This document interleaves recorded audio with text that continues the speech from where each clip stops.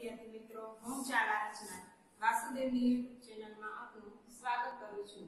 આજે આપણે ધોરણ 5 વિષય આસપાસ પર્યાવરણ બરાબર? એમાં આપણે પાઠ પહેલો, મજાની ઇન્દ્રિય આપણે સમજવાનું છે.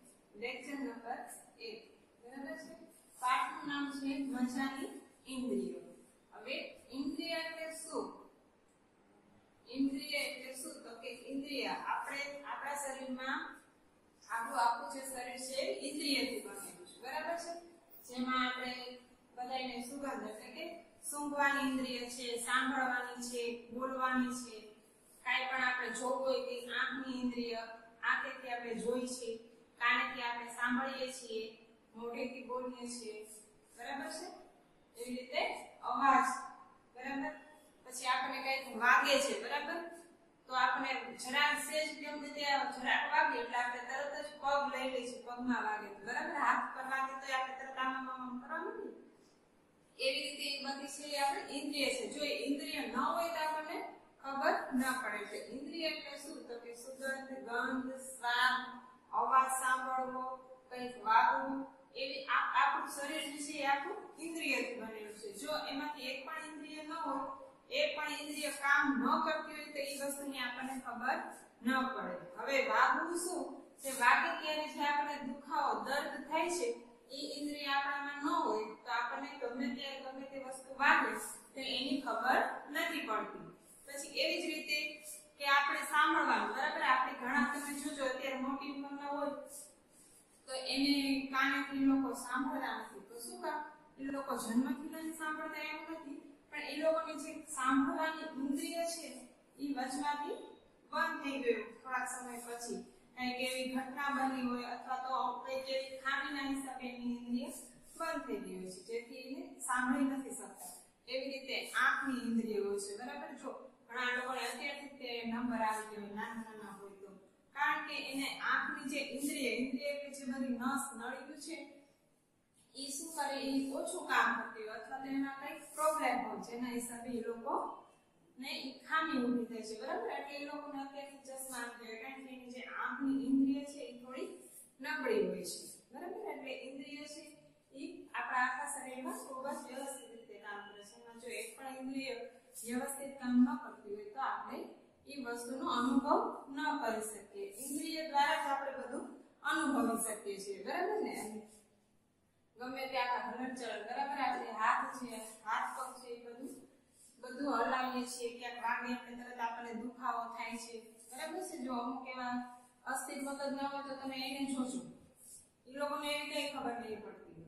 તો એને વાગવું શું કે આ શું? એ અમુક અમુક લોકોને ખબર નથી પડતી. બરાબર છે એટલે એની ઇન્દ્રિય એ છે, એ ત્યાં કામ ન કરે તેમજ આપણી જેમ પ્રાણીઓ અને પક્ષીઓને પણ ઇન્દ્રિય હોય છે. બરાબર છે? પક્ષીઓ તમે જોજો.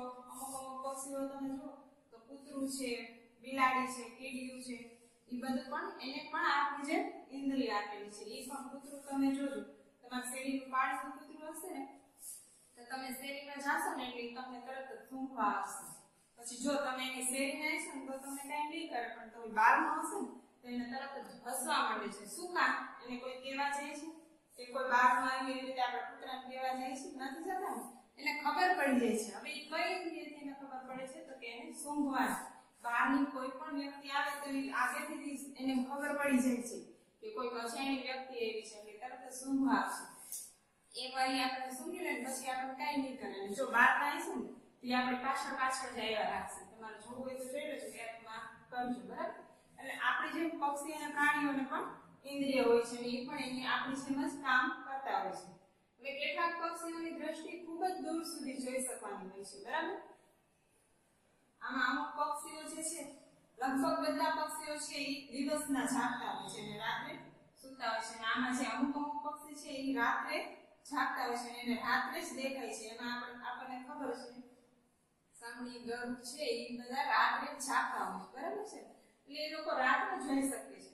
ત્યારે સમય છે એની દ્રષ્ટિ ખૂબ જ વધારે છે. ગમે એટલું દૂર હોય ને તો પણ સરળતાથી અને ગમે એટલું આવવું હોય તો એ વ્યવસ્થિત રીતે જોઈ શકે છે. ત્યાર પછી છે કીડીઓ કઈ રીતે આવું વર્તન કરે છે, ક્યારેક આપણે કોઈ દિવસ માર્ક કર્યું છે કે કીડીને તમે જોઈ છે, કીડી એક જ લાઈનમાં ચાલતી ગમે ત્યાં કીડીયું થાય બરાબર, તો તમે જોજો કે કીડી બધી એક જ લાઈનમાં જતી હોય. આવું કોઈ દિવસ કોઈને વિચાર આવ્યો છે કે આ બધી કીડી એક જ લાઈનમાં કેમ જાય છે એક જ જગ્યાએ કેમ જાય છે? અને ગમે તે વસ્તુ, મીઠી વસ્તુ ઢોળાય એટલે તરત ત્યાં કીડીયું આવી જાય ખાંડનો દાણો હોય મીઠાઈ હોય, ચોકલેટ હોય અથવા તો ચોકલેટનું ખાંડ દાણો હોય તો ત્યાં કીડીયું આવી જાય છે. હવે શું કામ આવું થાય છે? તો કે કીડીઓ પણ પોતાની એક સુગંધ એમ. એક કીડીને આવે એટલે એની પાછળ બધી આવે. કે કીડી ઓલી બીજી કીડીને બોલાવવાનું છે ને કે હાલો આપણે છાયમાં ખાવાનું છે એવું બોલાવવાનું જાતી. પણ એ લોકો એની ગંધ, એક કીડી ગઈ એટલે બીજી કીડીને આગળ જે કીડી આવી હોય એની એને ગંધ આવી જાય છે. એના હિસાબે ત્યાં બધી કીડીઓ ભેગી થાય છે.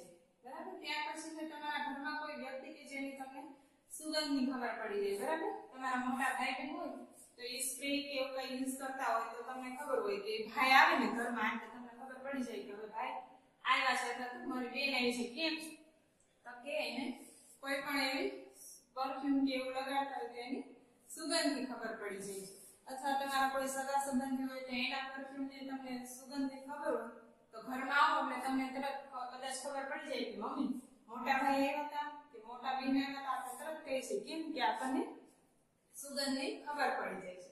ત્યાર પછી છે, પક્ષીઓ રંગને ઓળખે છે.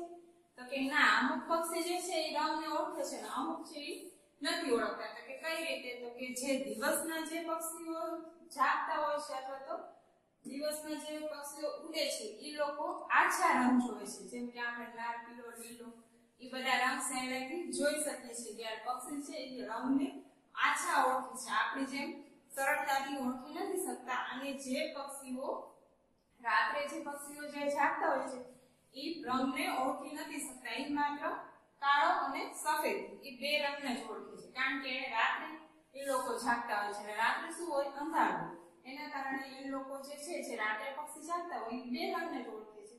કાળો અને સફેદ. જ્યારે બીજા પક્ષી છે એ રંગને આછા ઓળખે છે. ઓળખે છે પણ આછા. બરાબર છે? આના પછીનો આગળનો ટોપિક છે ઈ. આના પછીના નેક્સ્ટ લેક્ચરમાં સમજાવીશ.